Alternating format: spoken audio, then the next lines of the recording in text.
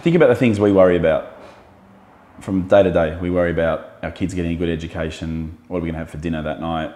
Um, is my phone charged because I need to look up something on the internet? And then think about worrying whether your kids are like alive in the morning because it's so cold during the night that you might wake up next to a frozen body. Like I, I can't even imagine going to sleep worrying whether or not my kids are going to be alive in the morning.